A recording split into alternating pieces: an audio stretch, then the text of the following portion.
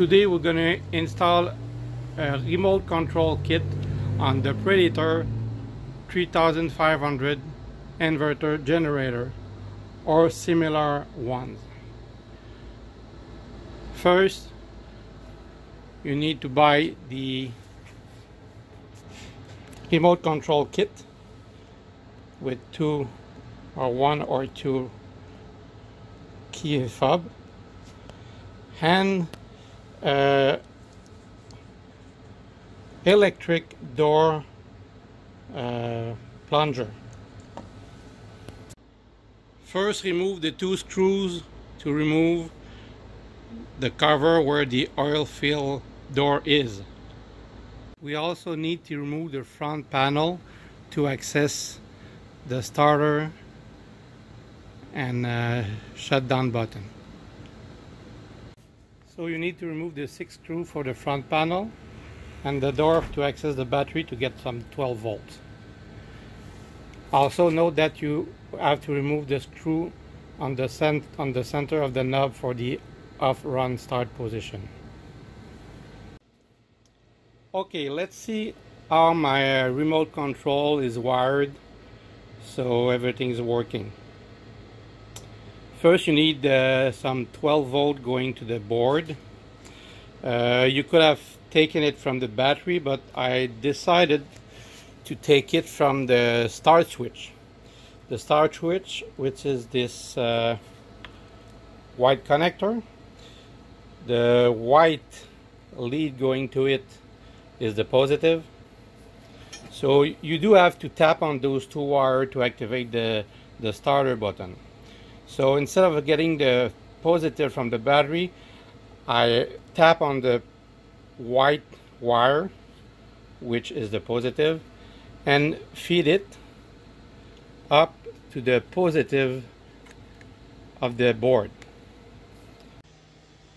For the ground of the main board, I just connect to the panel, one of the two panel ground here. So, and since I need other positive to the other uh, two, uh, the two first relay, I just start from the another jumper from the positive of the board going to the first relay B log and from the B first relay B log to the second relay B log. So the two first relay are powered with the 12 volt coming from the white tap that is 12 volt. So the first relay is going to be used which is the A on the remote control is going to be used to trigger the starter. So I have my 12 volt and on the A post of the first relay I did tap on the black and white of that white connector which is a uh, starter switch. Now the second relay is gonna activate the choke. So on the second relay I do have the jumper from the first relay on the B log for the positive and I'm just gonna feed some that same positive to the choke actuator. So this is the wire that is going at the back for the choke that we'll see later. My third relay is the one that's gonna shut down the engine. So that small black connector is the the ground to stop the engine. So on each of those black line I did connect those two white that are going to the third relay post A and B. That when I hit the C button is gonna ground and the engine is gonna stop. Just remark that uh, if you buy that board particularly but all those kind of board are the same thing you have three pin there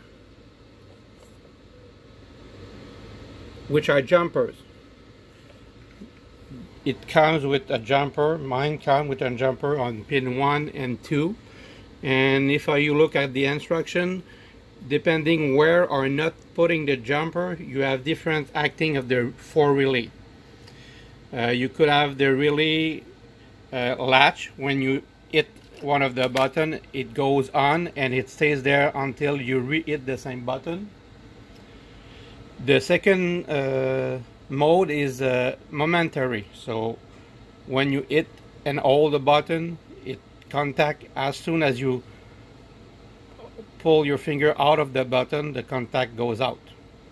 That's the mode we're gonna use.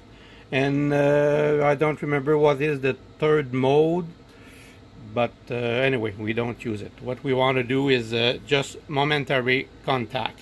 So for that board actually uh, for that mode you just remove the jumper.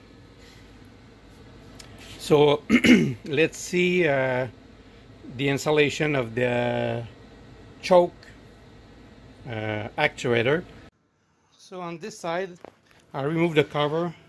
To remove it you need to uh, unscrew this screw there and uh, remove both wheels and uh, the three screw at the back here and two on the top and the cover is going to be removed.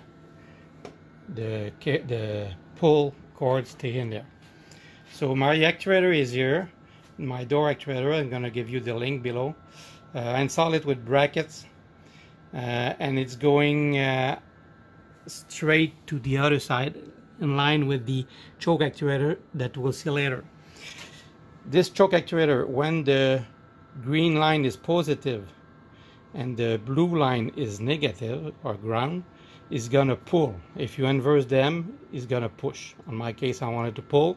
So blue is ground and the green is tied to my white coming from the positive from the board so let's go on the other side to see the choke system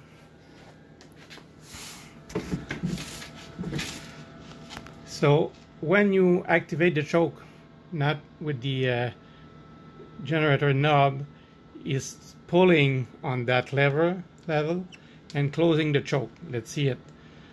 I turn it,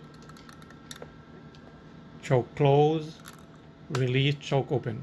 So I install a wire from my actuator. I remove the original wire.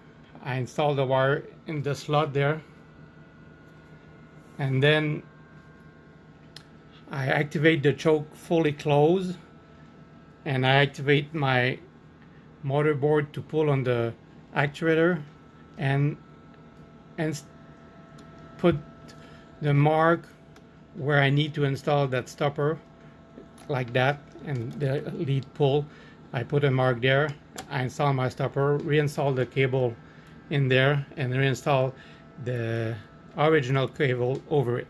So both are working. Original cable, pulling, and I, when I take my remote control, when I push on B, choke on, choke off, choke on, choke off. So let's try it. Uh, first, you need to have the start knob. This is the off you need to put it at, at the start position I think there's a switch for the gas going down and now since the uh, generator is cold I would need some choke so what I'll do I'll push on A for the starter and B at the same time the choke gonna be applied at the same time as the starter. And as soon as the generator starts I'm gonna release both and starter gonna go out and choke also. Choke choke need to be in only for a few seconds. If you need you could release A first and B after if it's very cold but both together worked and after for shutdown I'm gonna hold the C button until the engine shut down. So let's try that.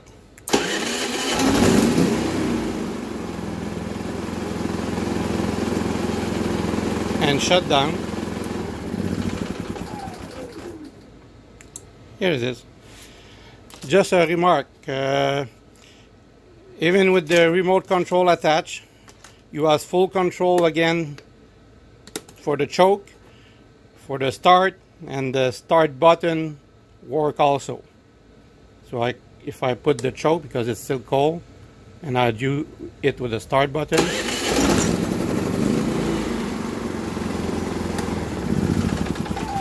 So all the original function are still working. Thank you very much. About the antenna of the motherboard. If you put it on a L shape like that you're going to have a much better range I also added a switch to kill the power to the motherboard. Uh, drainage is minimal, but in long term, one, two, or three months during the winter, uh, it could uh, drain a battery quite a bit. So this switch is cutting the wire going the ground going from the motherboard to the front panel inside and uh, so when it's off there's no power to the motherboard. This way it's re-established the power to the motherboard